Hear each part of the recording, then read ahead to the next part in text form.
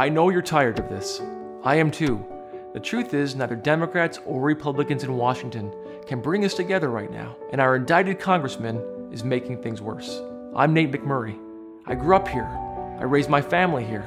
I love this part of Western New York. I approve this ad because I know our values, like honor and hard work and integrity, are what's missing from Washington. And I know we can bring them back.